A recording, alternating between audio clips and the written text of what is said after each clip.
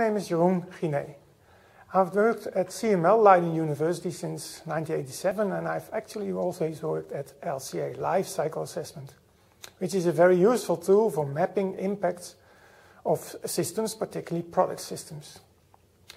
Well, our key message actually is that the future of LCA is life cycle sustainability analysis, LCSA. Rather than a method in itself, LCSA is a framework for linking and selecting proper methods to properly define sustainability questions. Framing questions to the methods approaches is then a main challenge. Well, how do I get to this message? Well, environmental life cycle assessment has developed fast over the last decades. It developed from a merely energy and waste analysis to a comprehensive environmental burden analysis in the 70s.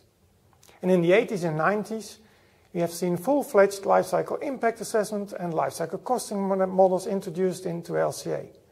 And, very important, LCA was standardized within SETAC in a scientific way and particularly within ISO 14040 series of standards. Despite this standardization, it became more and more clear that there is no such thing as a standard LCA method. Particularly during the first uh, decade of the 21st century, we saw divergence in LCA approaches again. And this divergence is reflected in discussions on different allocation methods and system boundaries, different impact assessment methods, such as midpoint, endpoint damage, exergy-based methods, spatially dependent impact assessment methods, life cycle costing, social LCA, consequential LCA, hybrid LCA, dynamic, and I could go on for this like the coming few minutes, but I won't. Because what the different approaches have in common is their life cycle basis. What they differ in is their methodological elaboration and the questions they are addressing. The question thus rises, what to use for what? Which approaches to adopt for which question? We need to clarify, of course, how the various approaches exactly differ or how they overlap.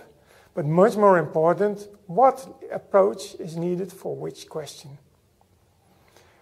The LCA approaches that emerged in the first uh, decade of the 21st century were initiated to broaden and to deepen environmental LCA to a more comprehensive life cycle sustainability analysis, LCSA. We didn't invent this method ourselves, but we tried to give more meaning to it. And as part of the EU CALCAS project, we developed a framework for this LCSA, which may be used for identifying available knowledge and related models, knowledge gaps, and defining research programs to fill these gaps, and eventually for linking life cycle sustainability questions to knowledge needed to addressing them. So, in summary, we think that the future of LCA is LCSA, and that LCSA is a framework rather than a method in itself. And in the first place, this framework can be used for identifying knowledge gaps and related research needs, and eventually the framework should offer guidance in selecting proper approaches for sustainability questions posed. And this selection is determined by the question posed. So all depends on the question and framing of questions is thus very important.